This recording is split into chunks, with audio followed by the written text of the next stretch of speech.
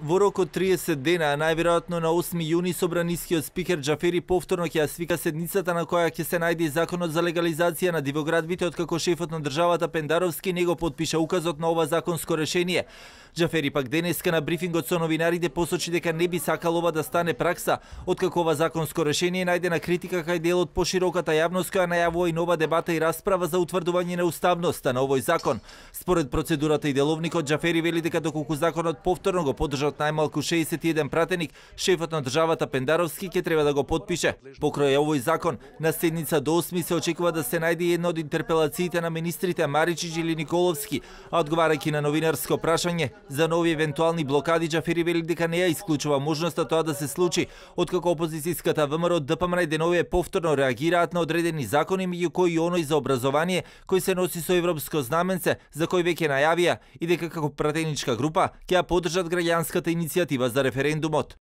Граѓаните, односно граѓанската иницијатива веќе беше, предходната недела имавме комисија, ми се чини дека веќе разговаравме на оваа тема, каде што постапката за отпочнување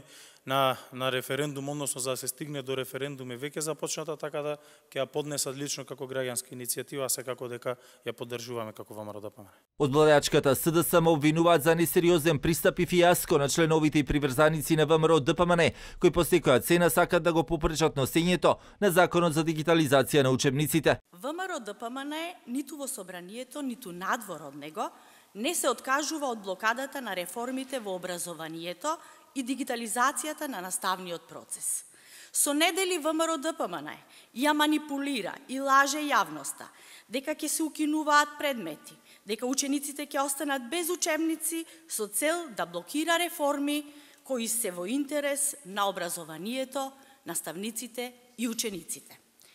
Вчера повторно се случи фијаско на протестите каде освен активисти и членови на ВМРО ДПМН немаше други граѓани. Расправата по однос на законите се очекува на следната седница повторно да се врати во салата каде пред пандемијата се одржуваа пленарните седници. Можност за тоа сега постои вели собранискиот спикер Џафери, бидејќи пратениците и службите веќе се вакцинирани со втората доза на вакцини, но сепак за тоа зелено светло ќе треба да даде и Комисијата за заштита од заразни болести.